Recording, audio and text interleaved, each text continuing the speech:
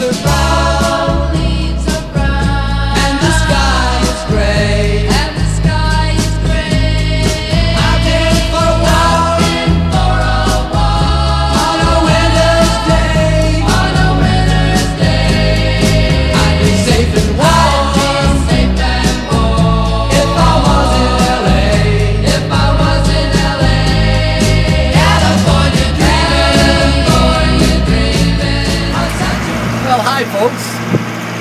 uh, headed out of Ventura for uh, a little two-week journey out to Catalina, and then we'll go back to Ventura and hopefully pick up our chart plotter that is missing. You might notice uh, it's off someplace in the eastern states, being repaired or replaced.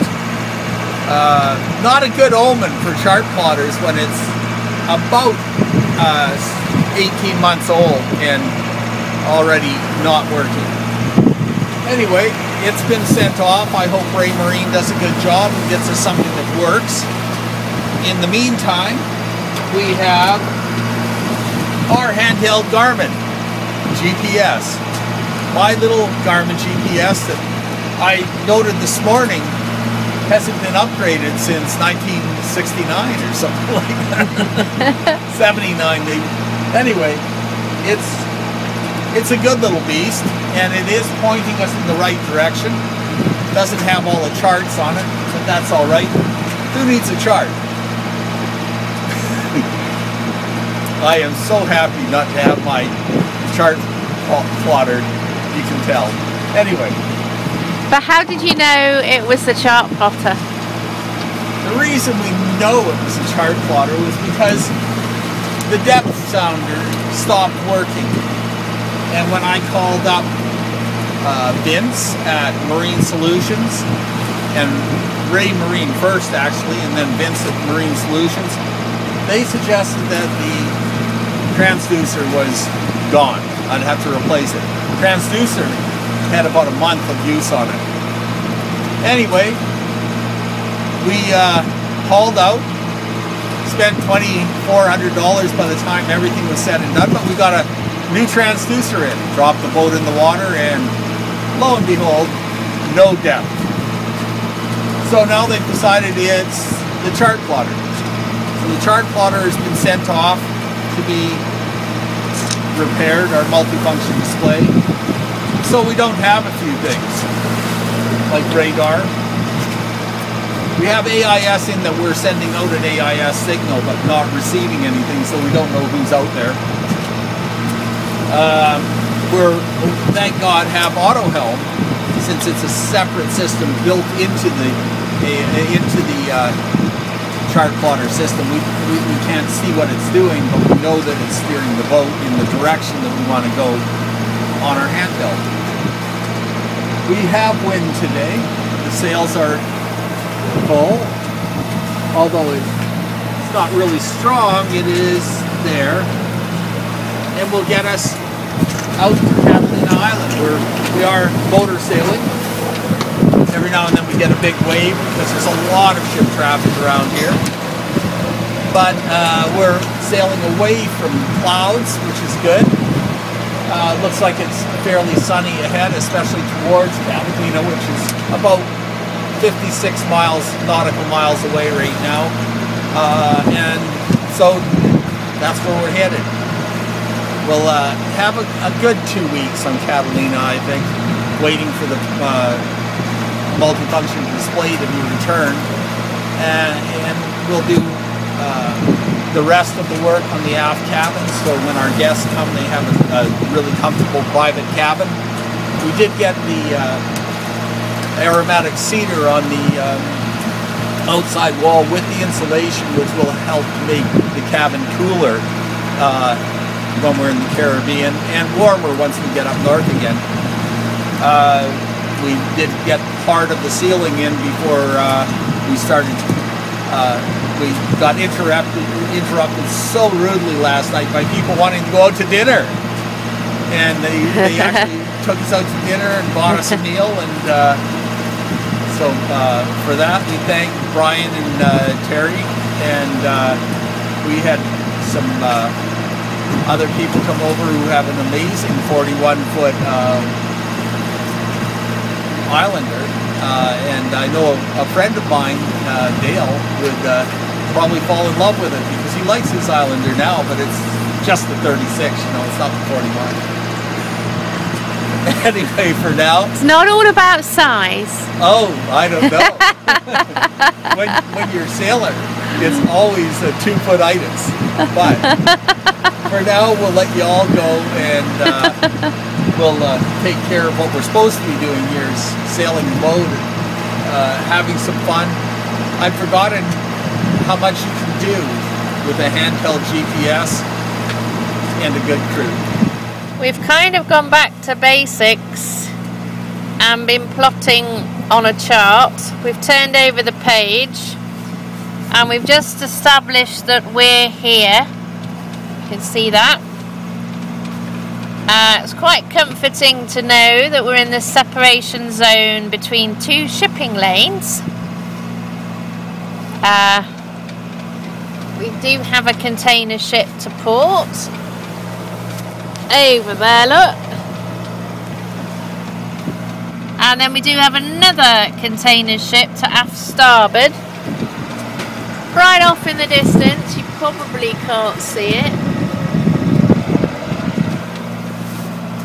And uh, what's even more comforting is the fact that we're outside the Pacific Missile Range. Oh, goody.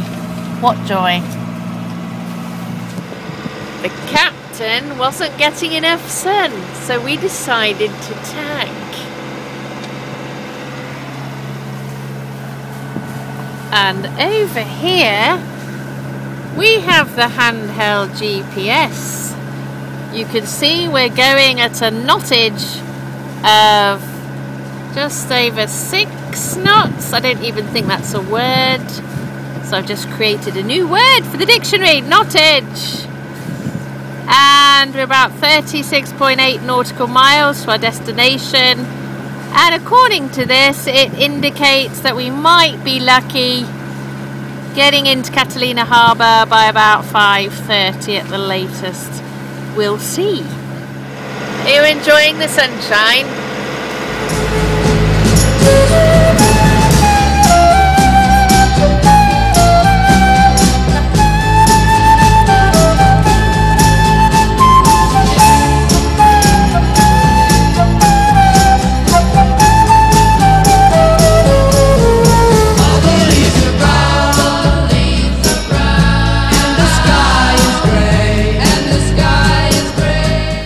If you're look real close, you'll see Catalina Island up there in the distance.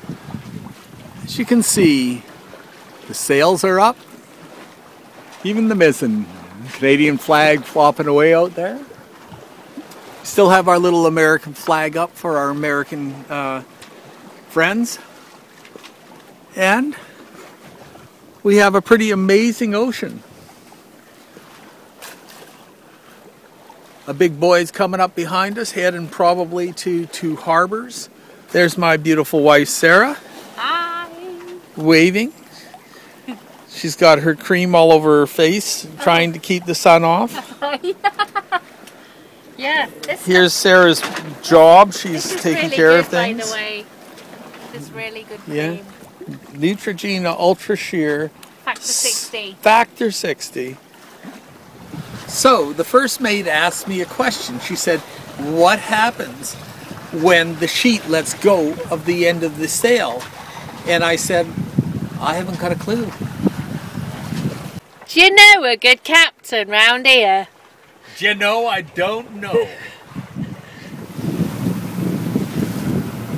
there we are, Catalina Island. We're heading down the, the outer coast and we're going to go into Cat Harbor.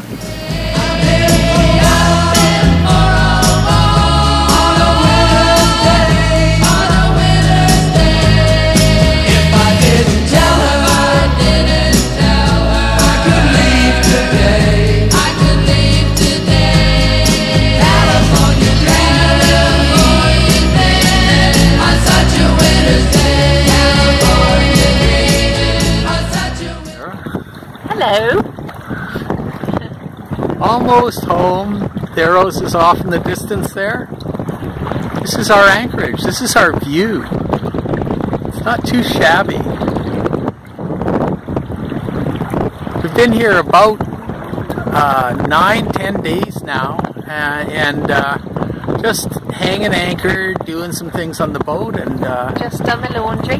did the laundry just now. A little bit of grocery shopping, some fuel. Hey, everything's going well. We won't buy a lot of fuel here. It's about twice the price of the mainland, but uh, we'll top up the tanks a little bit, another 10 gallons maybe after this one. And uh, then we'll see. I think it's almost time to go for a swim. But we'll talk to you later. And today we're uh, making an anchor float. This is to show us where the anchor is in the water compared to where we are when we're uh, at anchor. You blow around and you circle your anchor, and uh, it just gives you a display. It also gives a display to the people coming in to anchor after you where your anchor is, so they don't anchor on top of your anchor and, and drag you away if they leave before you. Um, so right now what I'm going to use is our man overboard pole and I'm going to set it up. I've got a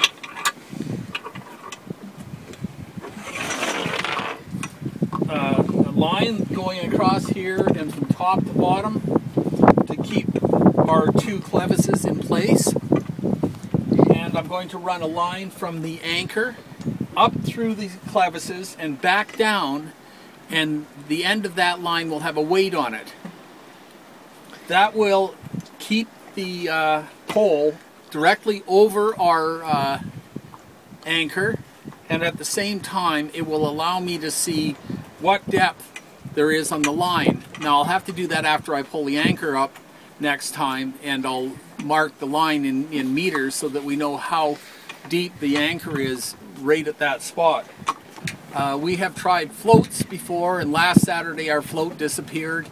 This Saturday uh, I had it tied a little tight, and I think it disappeared under the uh, uh, high tide level. Popped up a little later on, so it's we know where it is. I don't know whether you can see it. It's a plastic bottle that we used. So anyway, what we're doing now is I'm adding a little bit of flotation to our uh, man overboard pole because when I put it on the first time, it sunk. So I'm going to add some flotation and seal it up so water can't get in it. And then we're going to put it on and see how it works. It'll also have a flag on it and uh, there, the uh, flag pole is over here, goes on top. Our old flag is pretty well blown apart, so I'll uh, make a new flag for it. And hopefully people won't anchor on our anchor chain anymore. That uh, float with the flag on it is right above our anchor. It keeps itself there by a pulley system that keeps a, uh, with a weight on it, so it tells us exactly where the anchor is at all times. Now I've got a 250 feet of chain out, so you can imagine it's laying all over the bottom because we've been blowing around all night and swinging. But in the end, it tells people where our anchor is. What's important about that is people come in, they don't know where your anchor is, they throw out an anchor and it's over your chain. This way it tells them, there's your anchor and where are we?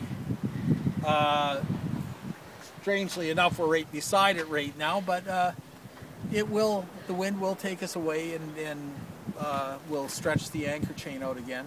It's just a, a way of protecting ourselves and at the same time telling us that our anchor is safe and where it is. You can see the 18th hole of the underwater golf course that we've just created. Uh, it's a special day for us today. We finally got our Schenker water maker working, and here's the first bucket of water from our water maker.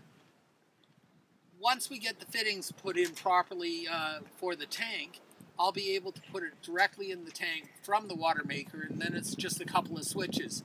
But the they suggest that you do the first couple of uh, buckets right from the water maker uh, into a bucket, and, and that way you're sure. So we've tasted the water. It is salt free and tasty. So it's going into our tanks. And we will do this for a few days.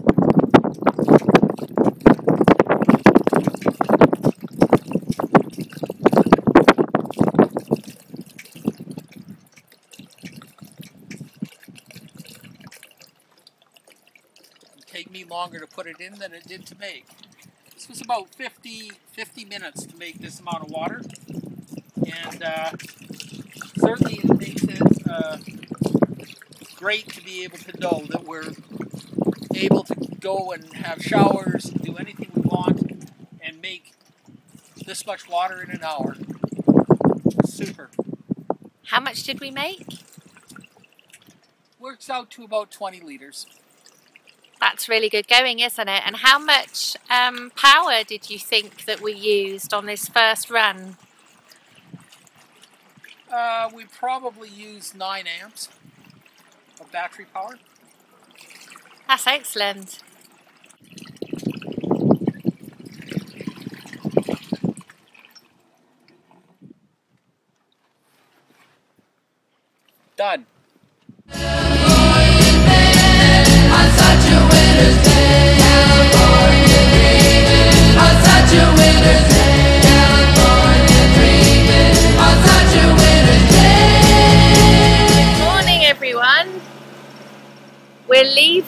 Catalina Harbour this morning. It's quarter past eight. Beautiful sunny day. And we're going to head round the island towards Avalon, where we'll spend a few days there at a mooring buoy so that we can walk the Catalina Trail.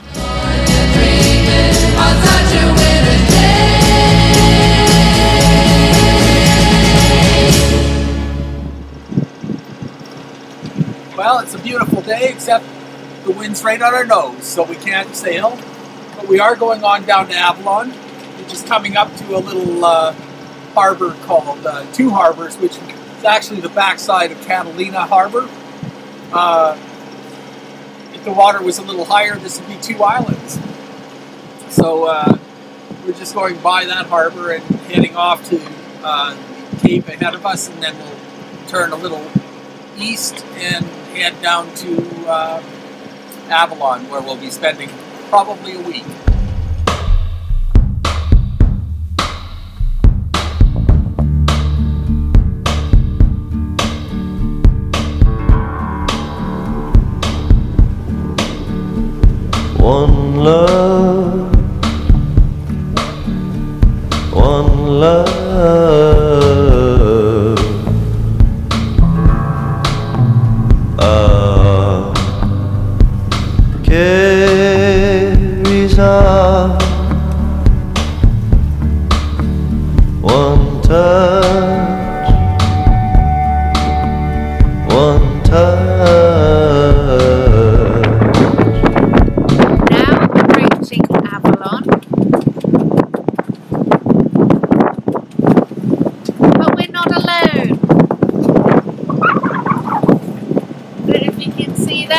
Clearly, but there's a massive cruise ship over there. So it's going to be a little hectic.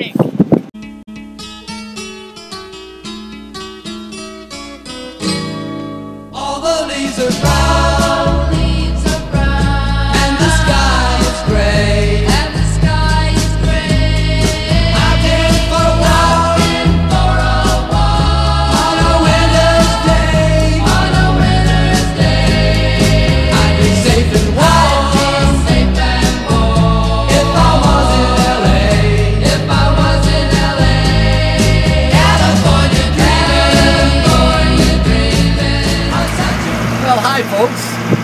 We've uh, headed out of Ventura for a, a little two-week journey out to Catalina, and then we'll go back to Ventura and hopefully pick up our chart plotter that is missing. You might notice uh, it's off someplace in the eastern states, being repaired or replaced.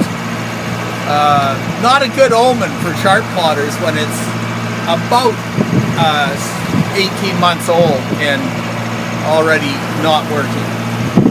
Anyway, it's been sent off. I hope Raymarine does a good job and gets us something that works. In the meantime, we have our handheld Garmin GPS. My little Garmin GPS that I noted this morning hasn't been upgraded since 1969 or something like that. 79 maybe. Anyway, it's it's a good little beast and it is pointing us in the right direction.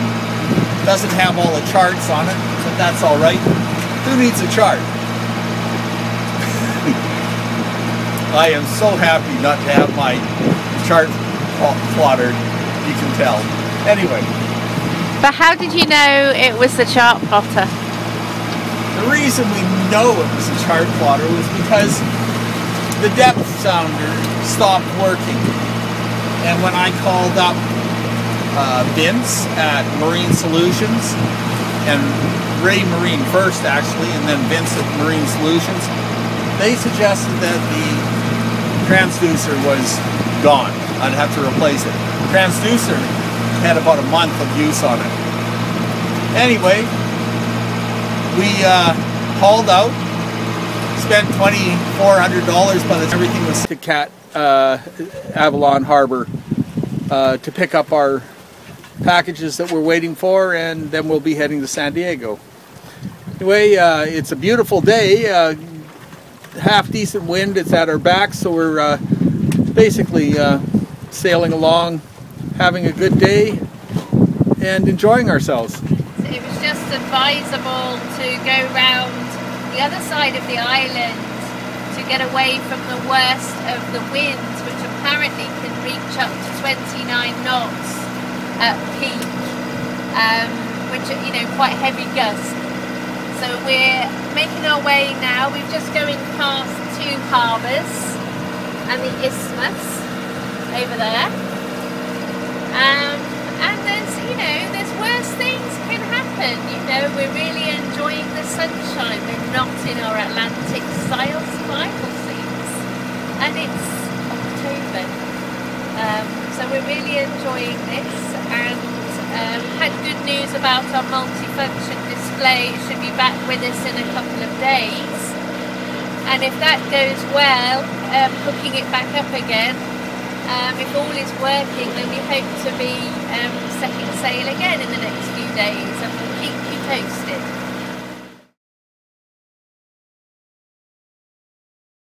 Uh, as you know, we've been doing a lot of work on Theros over the years, and uh, right now we're getting down pretty well to the end. And the end means let's uh, clean up the floor. Now, originally, I put this uh, bamboo flooring down a few years back, and, and uh, I hadn't planned to do all the work that I've done. Uh, so over the years, we've done work, and things have been dropped, and, and there's been scratches and gouges, and and the floor doesn't look that good anymore. And also I've had to cut in some new panels in the floor and I've used new wood and then we've got a suntan section or a, a uh, the way the wood tans out.